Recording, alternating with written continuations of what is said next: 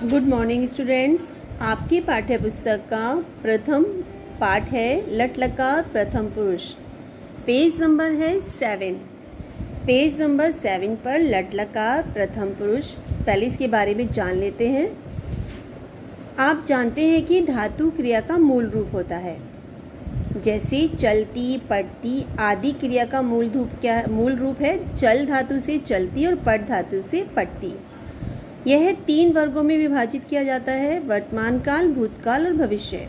लटलकार means वर्तमान काल, भूतकाल, लंगलकार और भविष्य काल लिट लकार का प्रयोग होता है।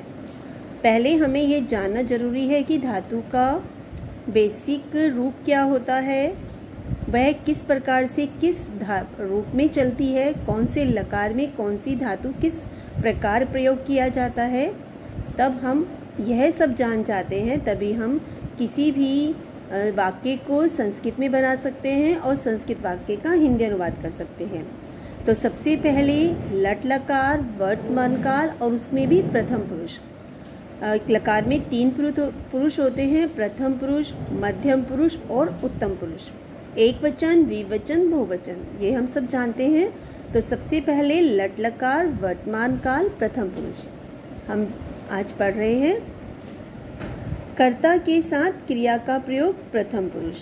बाल कहा हमारा कर्ता है, पट्टी हमारा क्रिया है। बाल कहा एक वचन तो पट्टी भी एक वचन। एक बालक पढ़ता है।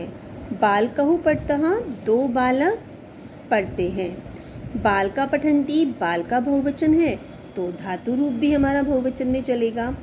अनेक या दो से अधिक बालक पढ़ते हैं। इस प्रकार प्रथम पुरुष में जो हमारे रूप चलते हैं, एक वचन में पट्टी द्विवचन में पट्टा और बहुवचन में पठंती। पट्टी पट्टा पठंती, यह प्रथम पुरुष लटलकार में इस प्रकार से धातु रूप चलते हैं। अब आगे देखिए। बालह चलती, एक बालक चलता है। बालहु चलता, दो बालक चलते हैं। बाला चलंती अनेक बालक चलते हैं। अगर हमारे पास आता है डैश और चलती तो हमें देखना है कि चलती हमारा धातु रूप एक वचन प्रथम पुरुष का है।